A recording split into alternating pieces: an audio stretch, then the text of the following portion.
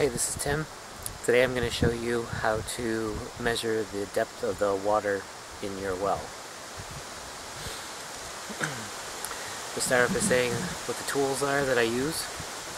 First thing I like to use is a decent quality fiberglass 100 foot tape.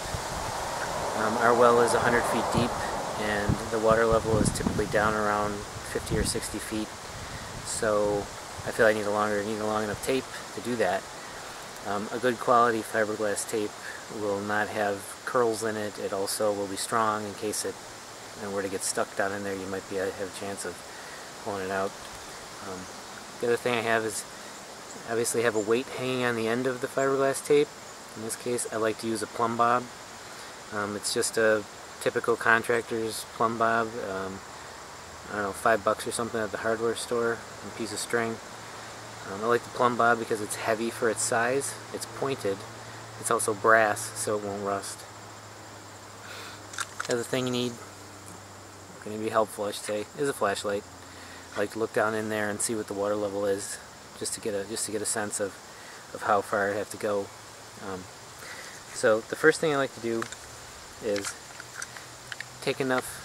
Um, sorry, I'll, step back first thing I like to do is actually to look down the well and get an approximation of where the water level is. So um, start by doing by taking off the well cover, the well cap. It does have set screws on it. See them here and here. Um, if they're tight, you're going to have to loosen them. Uh, ours isn't really tight. We check it quite frequently, so they're just kind of on there. so we can usually just lift the cover right off set that aside. I like to look down in the well.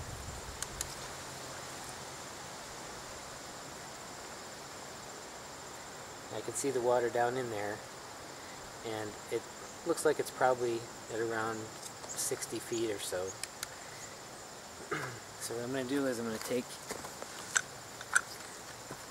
a bunch of my fiberglass tape and lay it on the ground.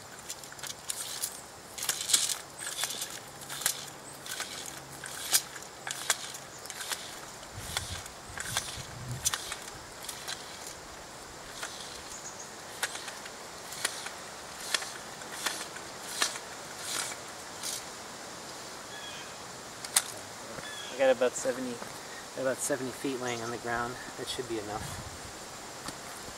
So, next thing you do, you want to take your plumb bob and you want to drop it in there. Now, the important thing to know here is that in order for this to work right, you cannot have the side of the, the tape touching the side of the well anywhere between here and where the plumb bob contacts the water. If it does, you won't be able to accurately hear when the plumb bob hits the water. So I'm going to take my flashlight, I'm going to watch it as I'm dropping it down in there. I'm going to stand up. I do find it's easier to stand up. So I'm just watching it, I'm watching it, it's dropping down in. There's a little twist here in the tape.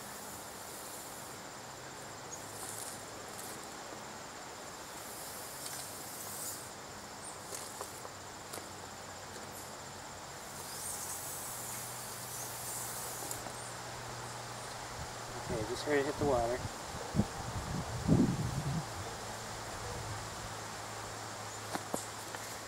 I don't know if you can hear that. I'm going to bring the camera closer. Might really mess things up here, but hopefully you can hear the sound.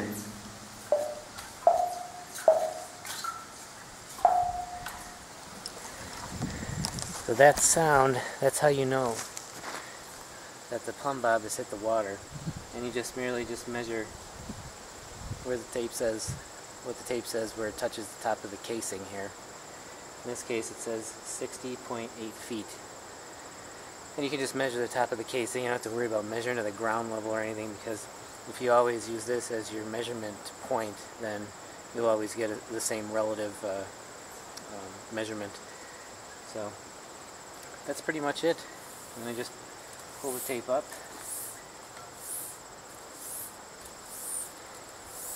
I do like to do it this way because you can feel on the tape when you actually start, when there's, if there's water on it. Like if it touches the side, you'll know, like in this case, I'm at 26 feet, and I started feeling the tape being wet. And that's because when I was pulling it up, the tape touched the side of the well, so I know that there's probably there's water coming into the well at somewhere about 26 feet above above where the water is sitting in the well right now.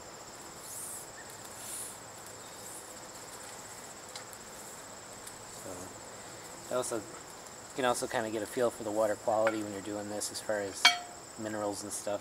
You can see that this tape was pretty dirty, but uh, you can see that the water is actually fairly clear.